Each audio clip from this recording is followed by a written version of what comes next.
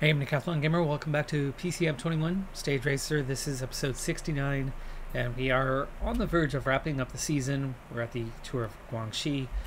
Uh, four out of, no, sorry, five out of six stages are flat. They're sprints, which means I'm obviously not contending for those in any way, but this is the exception. It's a punchy hilltop finish which gives me the slightest of chances. Looking at my team, the breakdown, Camargo and Pedersen are a little bit punchy, so with the short kilometers, I will utilize just the two of them. I will utilize a couple other riders in the lead up to it, and then otherwise put everybody on my heels to give us maybe a chance at breaking tow just a little bit uh, behind us as we attack the base of the climb. We're going to have to go pretty hard, pretty fast on this one. I'm not quite sure how many K it is, but I guess that's a good thing we can check on now as it is available information. 5.8K, an average of just 6%. It maxes out at 13.5. And that max is, well, let's see, just, just under 1K. It's about 900 meters long, I would say. So the final 900 meters is quite steep. I would think for me, you don't want to be punchy at that point. You want to climb. You want to hang on and just use those climbing legs and use the punchiness up before that to be in a strong position and then just hang on yellow bar wise. If we can get into a situation such as that, I like our chances. If the last K comes out punchy, it'll burn through red bar really, really fast. We want it to be hard earlier. Alright, we are down to the final 13k now, and with that climb just over, what, 6, 7k away, now's the time to do something about this. Do I want to follow Pedersen, or do I want to follow Camargo? I'm probably going to go with Camargo. Yes. Yeah, similar hill rating, better condition on the day itself, and definitely a better climber, which means he'll keep up with Pedersen for a while, while Pedersen hammers out the early, early kilometers of the climb. Now from here, looking at probably just Garrison having the best race day condition and bit off the back. I think everybody else is up front at least. Uh, who was the one who was off the back a bit? Garrison? Garrison, go straight to the back. There you go. That's three lead out guys for the next four or five K. Let's go stretch the field.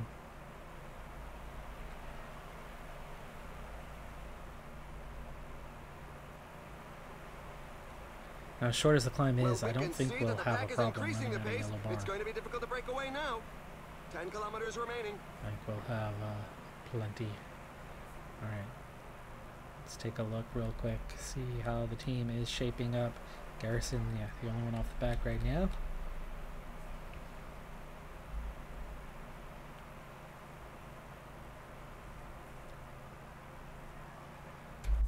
Alright, on to Blickra. And we're going to push a little bit harder. See if Garrison has almost made it up here now. Blickra taking over 5k from the top of the climb, but you can see the climb itself is just about to begin as we get up to 2%, which means we can go 99 with Blickra now, as he is not much of a climber. There are just five kilometers left. You can see how Jones really is the only one that he's impacting. Blickra. Try to get to the back end of this thing. I would imagine Powers is getting dropped. Garrison has made it into position, is helping break that tow. And you can see for me anyway, at 4.7k, I've barely, barely even dented my red bar. but the pace is going to hold others off. And we're ready to go. So we have 4K, 4.1K anyway, left in this thing. You can see it's going to ease off just a little bit. Let's hope that Pedersen, we're going to try a 95 with him, which is his punch maximum. All right, we're going to go 95 with him and see if he can't get us at least into that flatter section. Hopefully he can make it that far. Uh, we'll go 96 actually. As here comes the others. Full And see how red bar wise that's starting to do some damage. But that first attack, those guys are done. We are into that flatter section, I believe. Did he make it that far? You better believe it, he did. I want Camargo to take over when it ramps back up as we come around this left-hander. Use the gel for me. And Camargo. Transcend, 92. Give a little push. These guys are attacking, but they're attacking from 2k out. And they keep on attacking. Anyone that's go, low on gas 1.8 definitely now. won't be able to keep up.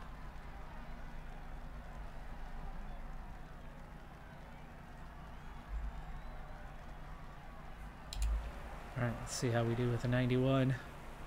See, I'm already making my way up beside these guys. I'm third wheel here with just over 1k to go. But that 1k, remember, this is the steepest part. It's in such 700 meters, we're out front now. create some gaps. Still pushing, still gaining, and attacking for the last 300 meters. Red bar's used up. We're into that yellow, and we are going to hang on for the victory. Congratulations. And opening a He gap. resisted the comeback of the pack and enjoyed his win. Aliotti on the right hand side was about eight seconds down, I want to say. Van Hoek, Van Wilder, Gal, Adam Yates, Dina, Lutsenko, Rodriguez, Camargo grabs 10th, and then Latour. 12 second gap. 12 seconds. And then there is 42 seconds to that next group, so I think all the sprinters are going to have missed out because everybody's pretty much on that 42 second time, other than a handful of guys way off the back. And yes, with that additional gap, it's enough to put myself in the race lead by 16 seconds. Van Houk, the guys who finished near the top of the stage are the ones that are left. And we're looking at a small group of just 14 riders at that 22 second gap. Nacer Bouhanni, who won, I believe, two out of the first three stages, and then had an additional time gap. No, just the two. I think he was.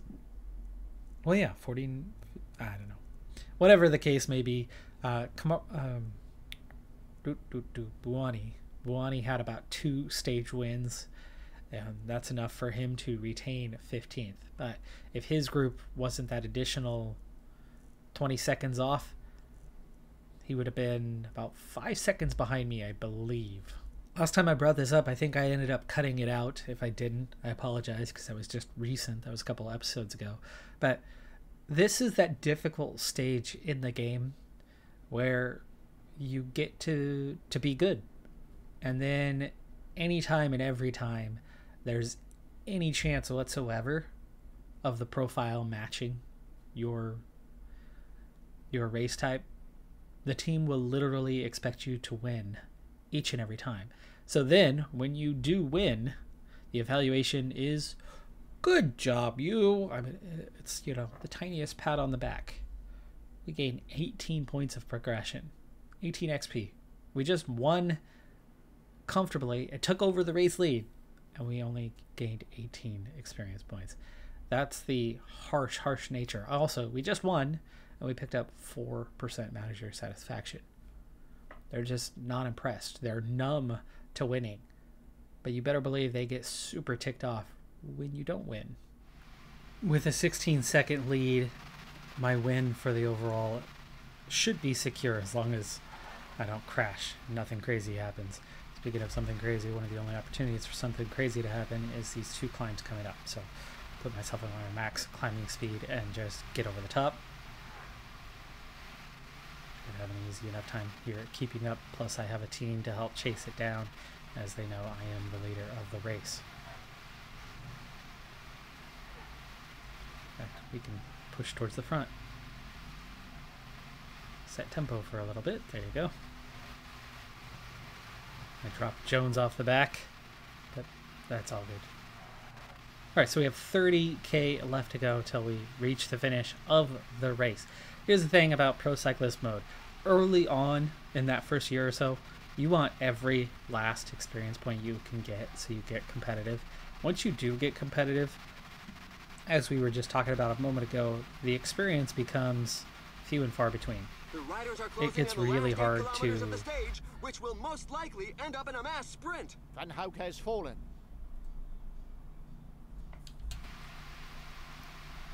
it gets really hard to earn XP after a certain stage.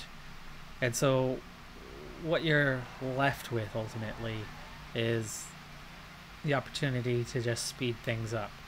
I'm not a sprinter, therefore a sprint is not my profile. I would not do this stage, Five kilometers to the finish but it's the last stage. So I quick simmed all the non punchy stages besides this one.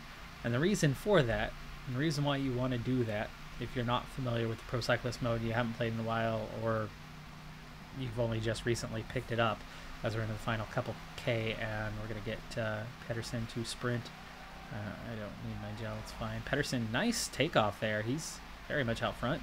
My sprint came a little bit later because it shifted uh, where I was. I was located here. I clicked Great sprint and stuff. nothing happened. Really I looked up but and saw that it moved me. Uh, not that I was going to be competitive. Main thing was to not get dropped. Kooij, Gidic, and Bouhanni are your top three. Pedersen's early move still coming in. does not pan out. He was supposed to be leading me out. I just didn't follow terribly well. Uh, but anyway, the reason why you don't skip the last stage is that's where the bulk of your XP comes from. The other ones, they didn't matter. So I was able to bypass four stages, shave a lot of time off of what it took to get through this race, did the stage that counted, got the win, took the lead, and did this stage that also counts to ultimately pick up the rest of the XP. If I'd quick sim this, I still win the race, I still get credit for winning the race, but I don't gain any XP from doing so. And holding the lead for the other stages doesn't amount to anything. But what happens by finishing on top is I get this. First in the final general classification, fourth in the KOM, first in the Young Rider, plus 55 points. So I won the stage. That was the pivotal moment. I got a 18 XP. I did nothing here. I didn't have a high finish. I just cruised across the line. But I claimed the overall. That was worth a lot more XP than the other one. So, just quick tip for those who are not familiar now. I know many of you have played the game thoroughly. You know all about it. But for those that don't, just thought I'd throw in that little tidbit. Also, there's that manager satisfaction bump by claiming the overall victory.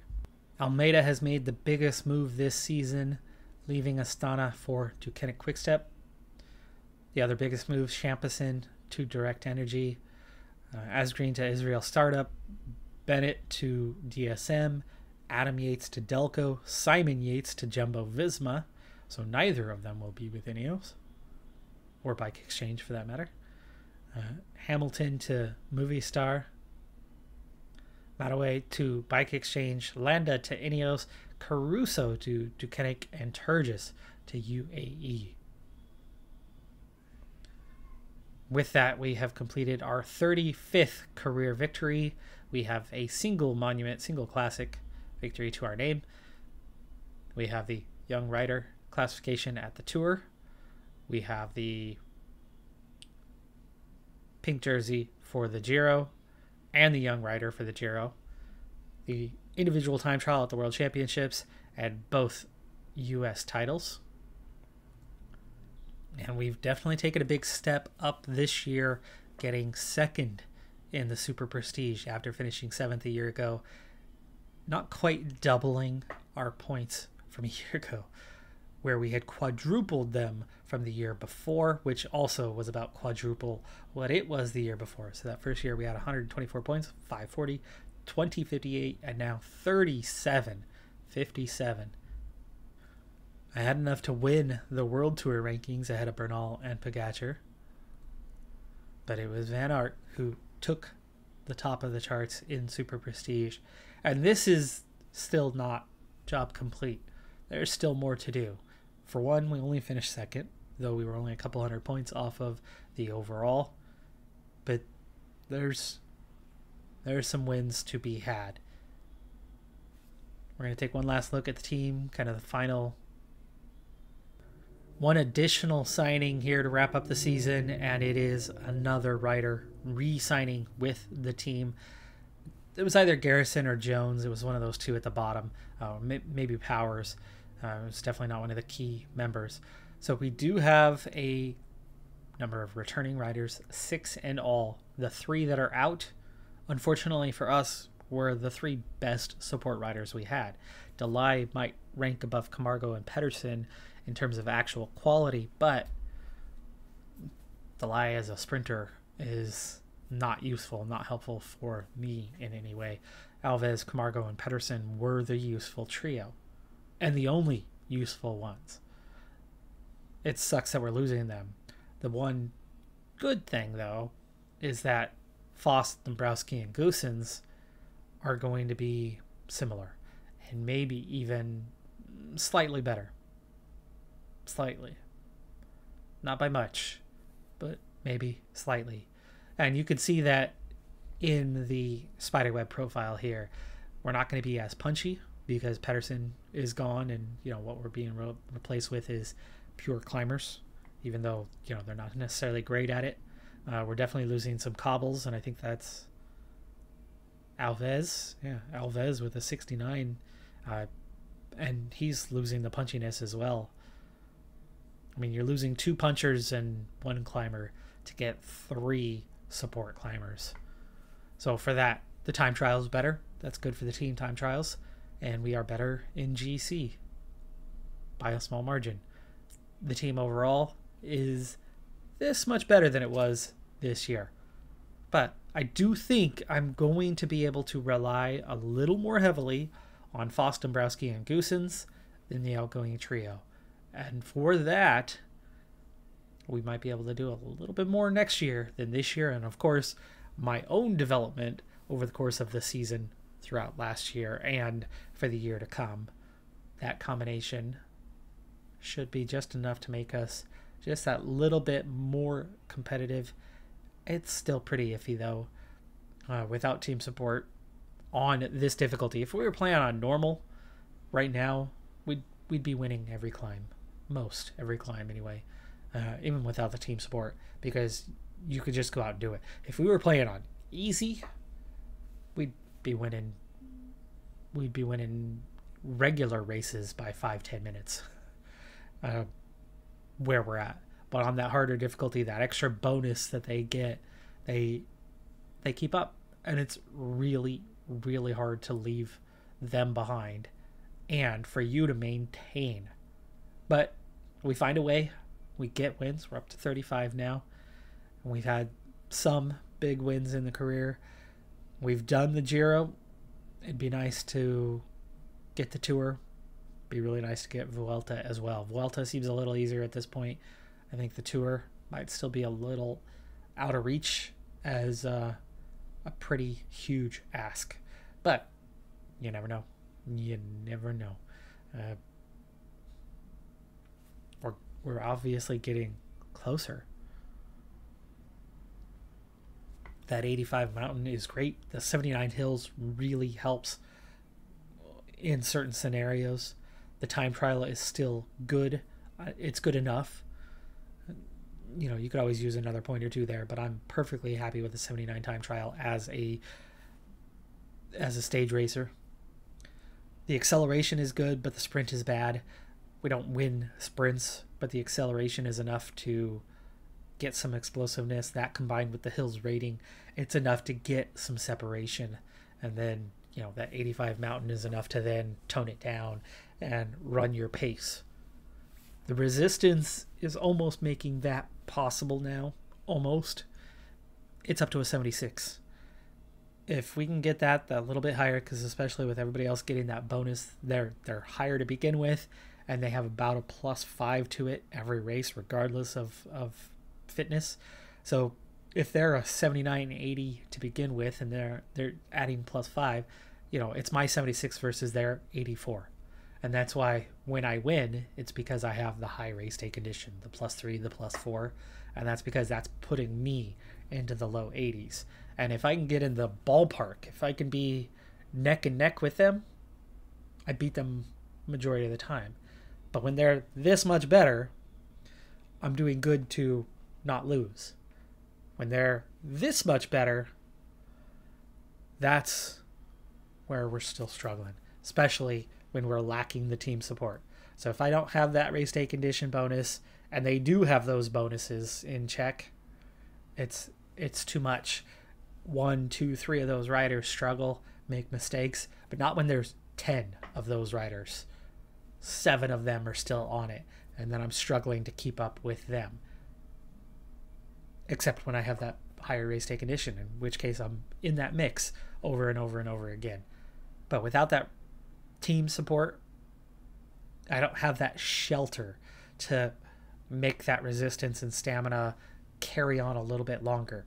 That extra shelter really, really makes a difference on shifting that balance, shifting the disadvantage into, you know, something even. I could beat them even. There's, it's hard to beat them when you're off. And that's why these unimportant races like this tour of Guangxi, Adam Yates was there. There was quality riders around me, but not the best riders.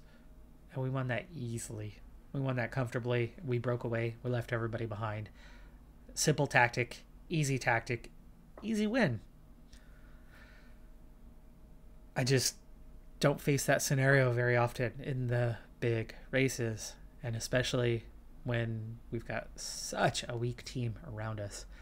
Uh, you know, if we were riding for Jumbo Visma or Ineos or Movistar, uh, we'd be winning a whole lot more than we are. But we've done well. We've done well to be where we're at and make the progress we've made.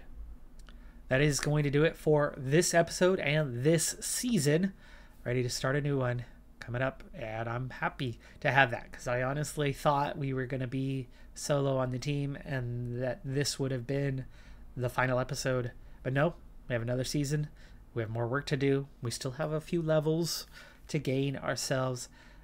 We're not going to get much better than we are now. We're almost gapped out. Uh, and, you know, the progress is really slow at this stage. But there's still more to gain. A little bit especially the resistance, the stamina. Be nice to have a few more sprint points. Looks like that one's not not to be, but for me, resistance and stamina, that's that's number one now. We're punchy enough, we climb well enough, we have enough acceleration, we have enough time trial, we have more than enough recovery.